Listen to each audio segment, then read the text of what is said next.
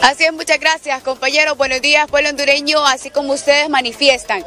Bueno, se ha referido a varios temas el cardenal Óscar Andrés Rodríguez desde la Catedral San Miguel Arcángel, ubicada en el centro de la capital. Pero sobre todo, estos dos temas son los que más han resaltado, pues ha mencionado que esta guerra en Irán es lamentable y sobre todo lo que más ha dicho es que cuando estamos cerca de Dios, lo que impera es la paz. Por tanto, también le ha hecho el llamado a los hondureños para que cambiemos el corazón de piedra por uno de carne y que de igual forma incitemos a nuestros hermanos a hacer lo mismo. Eh, también ha hecho el llamado a parar con los asesinatos y dejar de matarnos unos a otros. Y respecto al joven Wilson Berríos, Berríos, también se ha referido y ha manifestado y ha condenado a las personas que lo atacaron manifestando que el que atenta contra la vida de otros atenta también contra el amor de Dios. Escuchamos a continuación. Año nuevo, con misiles, con bombas, con muerte y con un avión derribado por error, dicen. Qué contraste con un Dios que viene a traernos la paz.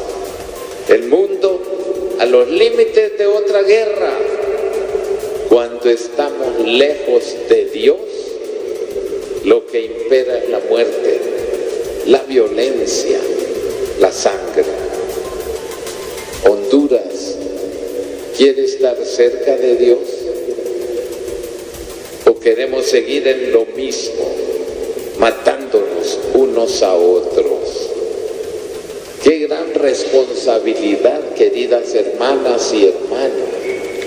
Esos jóvenes, esos adultos, esos sicarios, tienen que encontrarse con la palabra de Dios, de lo contrario van hacia el camino de la perdición y llevan la perdición a otras personas.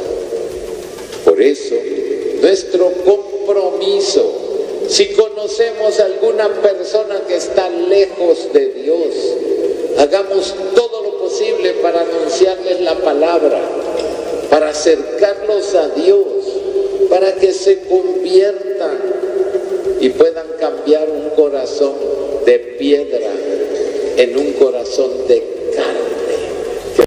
Este joven Wilson que sufrió esa bomba que le estalló en su cara, ha recibido, gracias a Dios, tanto amor de nuestro pueblo.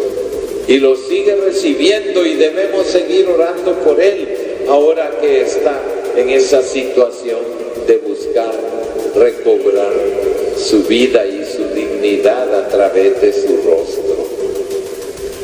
Pero ¿por qué las personas se llenan de maldad cuando están lejos de Dios y hacen cosas tan horribles?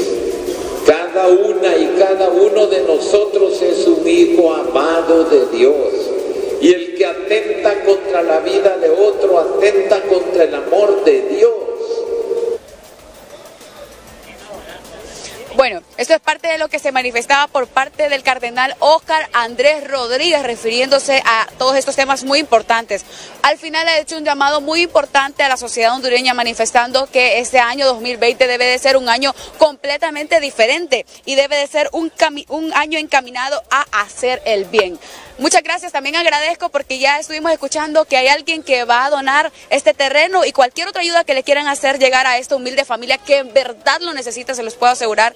Pueden llamarme al 95 87 01 26 para cualquier tipo de noticias también durante este domingo, ya que estamos de turno. 95 87 01 26. Este es el ambiente que hay también hasta esta hora de la mañana en el Parque Central, donde hay una fresca temperatura, un fresco ambiente a esta hora de la mañana a 16 grados. Estamos actualmente en la ciudad capital. Compañeros, si no tienen consultas, en cámara de mi compañero Gerson López les informó Nirvana Velázquez. Bien, gracias a la compañera Nirvana Velázquez.